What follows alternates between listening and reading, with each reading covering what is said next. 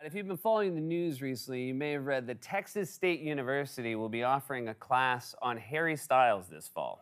A class, a class on Harry Styles, the singer. Well, things like this, they always, well, they get me to thinking. You know, I'm getting older, and sometimes I look around and I don't even recognize the world I'm living in anymore. Things are changing every day, and not always for the better. And it's times like these that I like to take a moment to talk about how things were, well, just a bit more simple back in my day.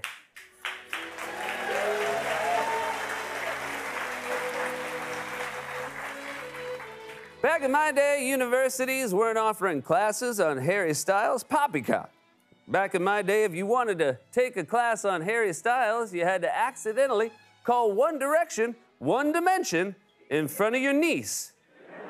And then, by God, she would give you an education. Back in my day, meteoroids weren't damaging the new James Webb Space Telescope star junk. Back in my day, the only telescope being damaged was the one in my living room when my neighborhood, Mr. Landingham, came over and smashed it into a million pieces and called me a pervert. well, sir, I wasn't the one going to bed in a full Spider Man costume. Yeah, good point, Rusty. He could have closed the curtains. He wanted me to watch.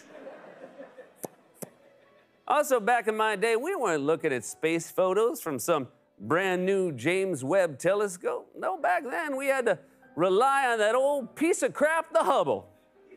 Every few months, that hunk of junk would out another stupid photo, and we'd have to pretend to see something because the scientists told us it was amazing show us some orange smudge and say, This is a new galaxy. Isn't it incredible? Meanwhile, we're all thinking, Are you sure it's not a family photo my aunt took with her thumb over the lens?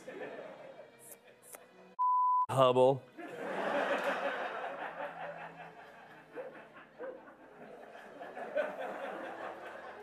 Back in my day, we weren't prepping ourselves for the Game of Thrones spin off House of the Dragon Lannister beans. Back in my day, we were prepping ourselves for the Cheers spinoff, and boy, were we excited when we found out it revolved around everyone's seventh favorite Cheers character, Frasier Crane. What's more fun than a bar in Boston? Oh, I know, a talk radio station in America's wet blanket, Seattle. But you know what? It kind of worked, thanks to a fine actor named John Mahoney. Oh, you thought it was Eddie the dog. Yeah, he was great. So was Roz. And who could forget Daphne Moon and Niles? Niles. You know, come to think of it, Frasier might have been the seventh best character on Frasier, too. what are the odds?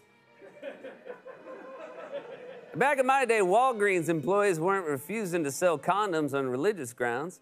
Back in my day, Walgreens employees refused to sell us anything because they were all out back having a smoke and there was nobody running the cash register, nobody anywhere. You could wander the aisles for days and never see a single person who worked there. Even the woman with the name tag trying to force open the razor case was like, Me? No, I work at Target. I just couldn't find anybody who worked here to get me a damn Schick hydro. Back in my day, the crypto markets weren't crashing. No, back then, the only thing crashing was your cousin on your couch because he lost his house investing in crypto. Back in my day, there was nobody testing positive for polio in the United States. The only thing we were testing positive for was Polly-O, the string cheese. and you know what the big difference was between polio and polio? FDR never had string cheese.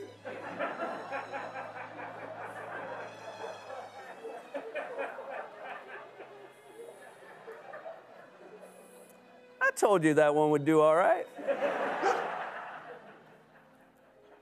Back in my day, Long Island residents weren't worried about getting attacked by sharks.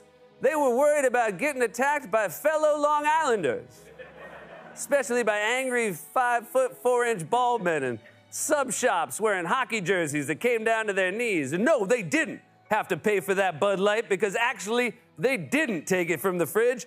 They brought it in with them, actually. And if you say another word, pal, they will break that bottle over your head. Back in my day, the Fed wasn't increasing interest rates Or maybe they were. Christ, I have absolutely no idea what any of it means. Whatever, Rusty. What do you know about uncollateralized transfers between depository institutions?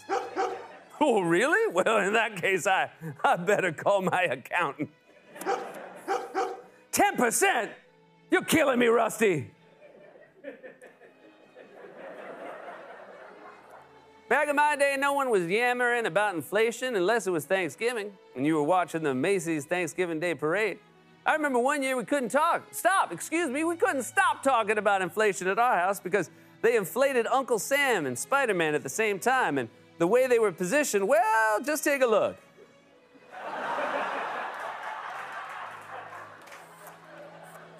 I guess that year Uncle Sam really had something to be thankful for. Back in my day, they weren't making a musical sequel to the movie Joker. Back in my day, we were satisfied with the music in the original Joker. Like, remember that scene where those three Wall Street guys sang, Send in the clowns before getting murdered? Gotta say, best scene in that movie. Am I just saying that because my writer, Ben Warheit, who is also the writer in charge of the Back in My Day script, played one of the three Wall Street guys that got killed?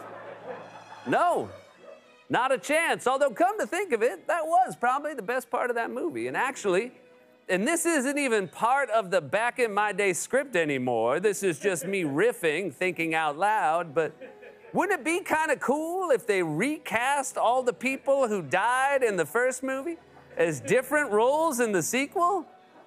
It could make sense because the whole thing with Joker is that he's insane and you don't know if what he's experiencing is real or in his head. It would be a cool, unique casting move for a great director like Todd Phillips. The Academy loves stuff like that too. Again, just thinking out loud here, make it happen, internet. Are you happy with that, Ben? Yeah, yeah, I think so, yeah. Fingers crossed. hey, how's it going, Rusty? well, I'm sorry I had to do that, but sometimes this Grumpy old Gus has got to get to griping. This has been back in my day. We'll be right back.